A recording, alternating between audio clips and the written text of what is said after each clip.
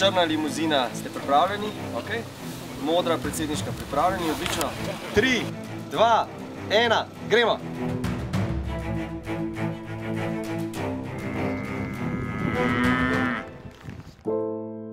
Preden se na pokluki stemni do te mere, da bomo lahko res zelo očitno preizkusili dve tehnologiji svetil, pa smo za vas pripravili zato, ker je čas predsedniških volitev in zato, ker smo v družbi DS-a, ki ima zelo čudovito zgodbo tudi v povezavi z francoskim predsednikom, pa smo za vas pripravili en prav poseben delček tega, kar morajo narediti tisti, ki se usposabljajo za voznike varovanih oseb, predsednike in vse ostale.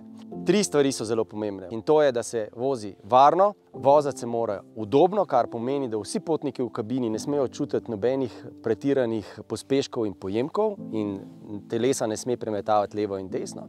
In voznik, ki je vselej tiho in neupadljiv, ne, mora dajati potnikom vtis, da vselej obvlada situacijo, v kateri je. Na posnetkih seveda že vidite, katero ultraprecizno merilno napravo smo namestili na strehe DS9, zato da bi med našimi gledalci našli najbolj primernega voznika Pahorevega naslednika. A na tem mestu gre še poseben podarek točki ustavljena, točno na mestu rdeče preproge. Kako bo v avto sedla morebitna predsednica oziroma prva dama, je namreč bistvenega pomena. Hop, pozor, tudi vozniki varovanih oseb se morajo pripeti, tudi predsednik se mora pripeti. Desno, levo. Ste še vozili tako dolge avto? Tako da ne, C5X. Ne, ni bil tako dolg. Ja, prav bistveno krajšnji. A res ne? Potem pa, če uspe, vzvratno slalom odpeljati brez zaviranja, bi bilo to kar precej super.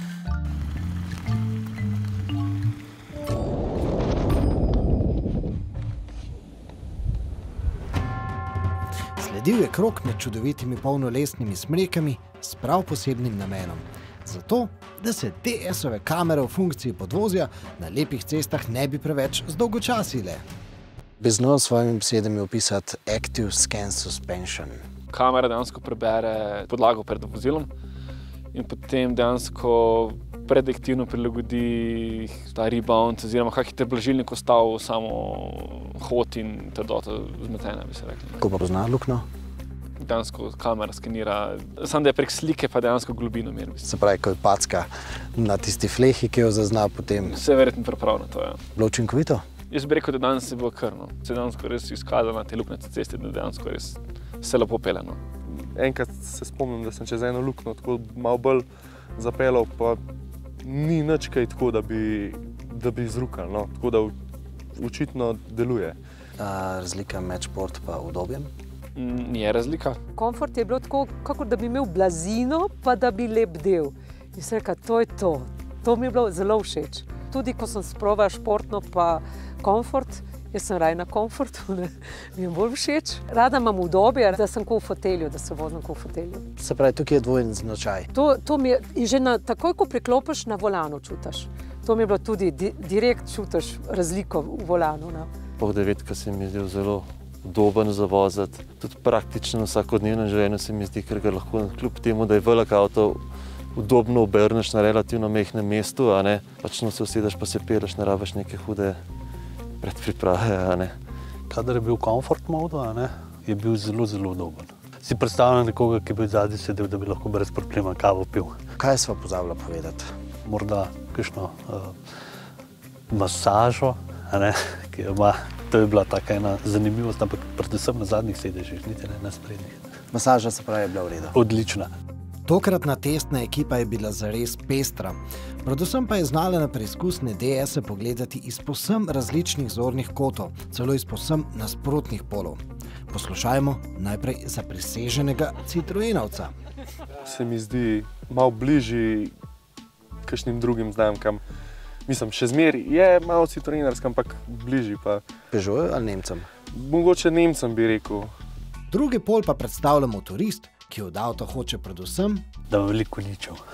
Aha, hiter, divji avto. Zvok mora imeti predvsem. Se pravi, danes popolnoma napačni avtomobili. Danes popolnoma napačni. Ampak ta šport program je dolg, tako. Ja, je, je, seveda se pozna, ne? tako na podvozju, kot tudi pri samem pospeševanju.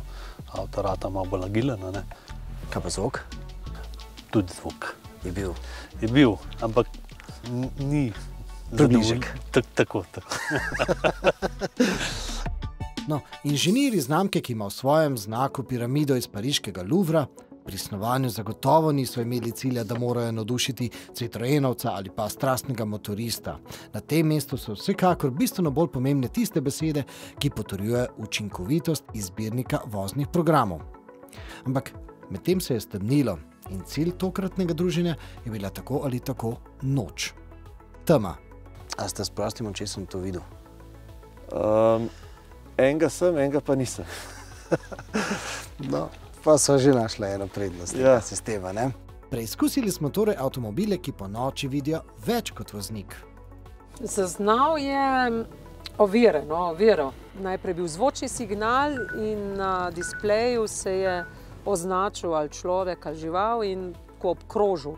Se pravi, kaj je šel Andrej čez, se je tudi kaj spremenjal.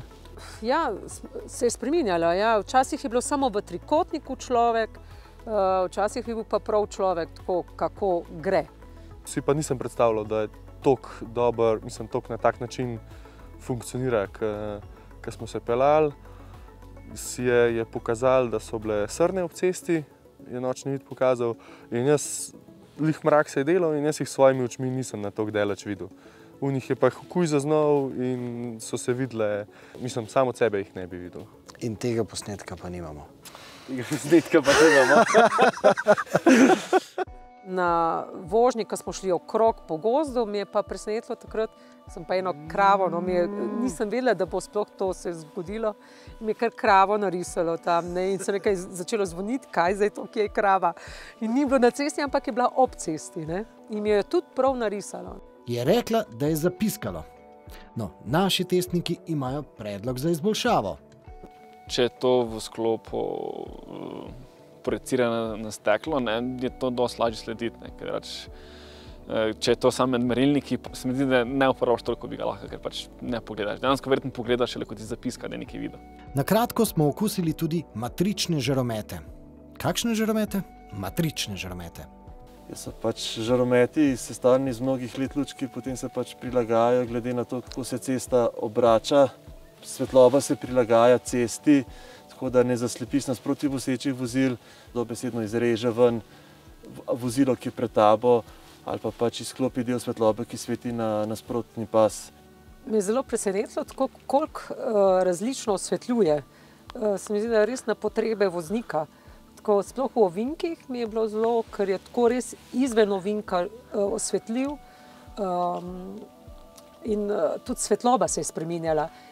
DS-ova luč pa sveti tudi malce po slovensko. In glede, mogoče veš, kje nastajajo ta svetlobni podpis DS-a Fuf, ne, v Sloveniji. a v Sloveniji. Ja, v Ljubljani to delajo, te luči. In to nas pripelje do naše naslednje zgodbe, prav tako zelo temačne zgodbe. Namreč ob polnoči smo se srečali s Helinimi inženirji na njihovem internem subjektivnem testiranju žarometov na 12-terici modernih avtomobilov. V koloni pa je bil tudi en prav poseben Porsche s posebnimi konceptnimi žarometi, ki bodo funkcionalnost digitalnih luči približali tudi cenejšim avtomobilom.